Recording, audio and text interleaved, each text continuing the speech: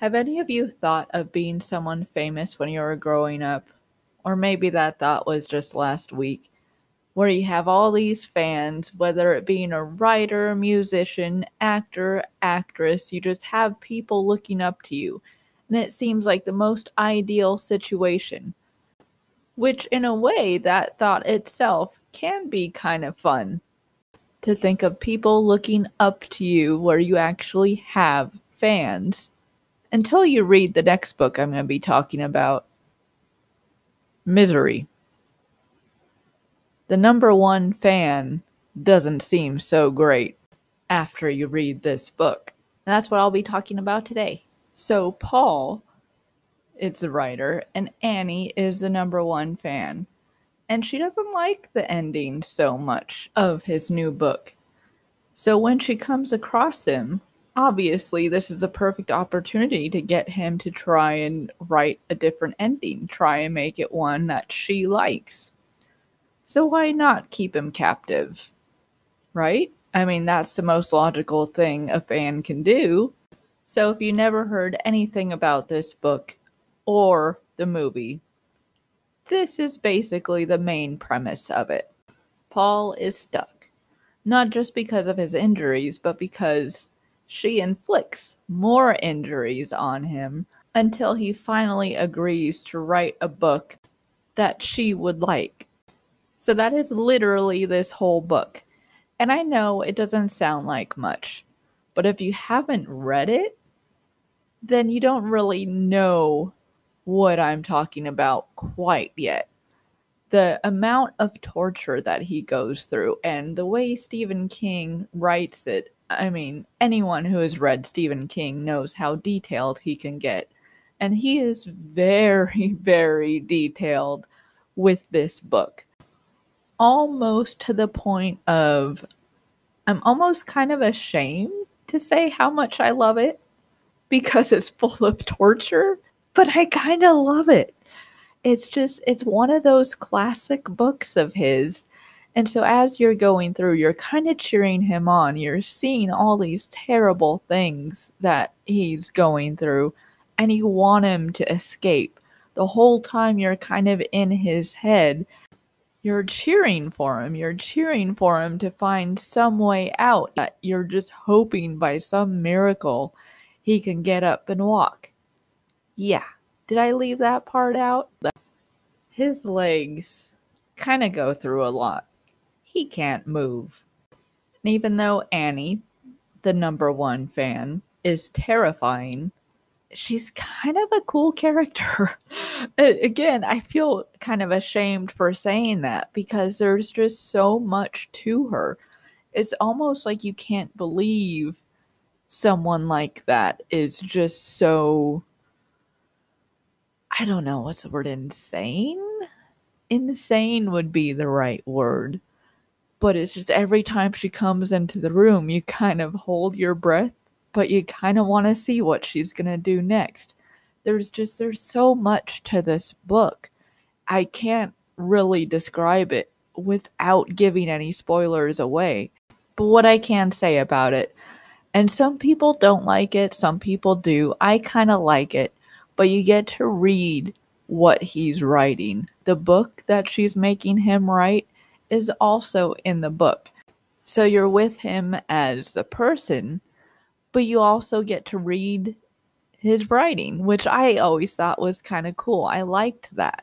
So, Stephen King, he writes any kind of scary. He writes a lot of ghost stuff, which most of them are turned into movies. But then he's also written stuff like this, which is just about people, but it's terrifying. It's equally terrifying and I have tons of Stephen King books. And I think this was one of the first ones that I actually read of his. Not the first one, but one of them.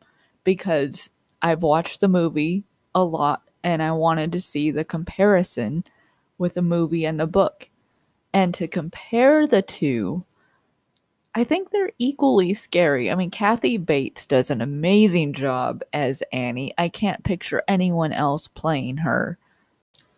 If you want to be terrified, this is a good book to be terrified with. especially if, like I said in the beginning of this video, you're aspiring to be a writer. With this book, I always think, is he worried about this? Is that why he wrote this book? Is he worried about meeting his number one fan and having her or him turning into an Annie? I've always wondered about that. I always thought that if I ever saw Stephen King and didn't run the opposite direction because I was too nervous to talk to him, I would want to tell him that I was his number one fan just to see how he would react. But honestly, I'd probably run in the opposite direction or at least hide. I imagine if I was in a place, like I always imagine if he came to my work and I had a book of his with me, which I always have a book with me just to read on breaks or if it's slow. But if it was one of his, I always got the image in my head of like ducking down, hiding, but throwing his book at him, obviously not intending to hurt him, but with a little post it saying, sign please. And that would be my way of going up to him. Overall, I would say this book is amazing. It keeps you literally on the edge of your seat. You can't put it down. When you do, you're continuously wondering what is happening to Paul. Will he get out? And the intensity in it, it doesn't stop until the very end. Even when it seems like nothing's going on, things are going on.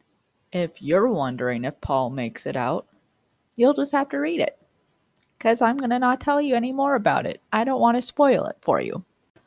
So, do I recommend this book? Yes. Am I Stephen King biased because I'm a big fan of his? Yes.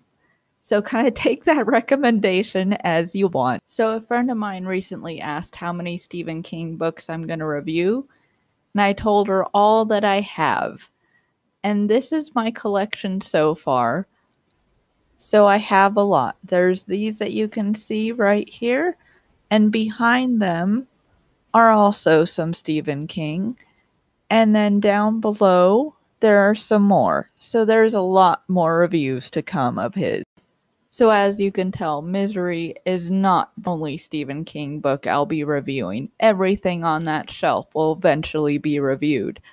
So let me know in the comments if there's any specific one you see that you want me to review next or read to review. I haven't read all of them yet because the list is insane. I'm not even done buying them yet.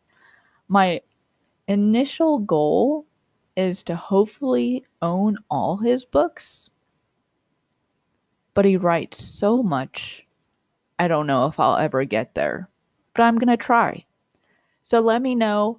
I'll try and get to the ones that you request soon. And I'm going to start posting videos every Friday. I know lately I've just been throwing them out there whenever I finish them. But I'm going to decide to actually stick to a schedule now. So every Friday there will be a new review, a new video up. And I'll kind of sprinkle in Stephen King as I go along. So let me know again in the comments which ones you want me to do next. And if you haven't subscribed, go ahead and subscribe if you want to see those coming up. All right? See you next time. Bye.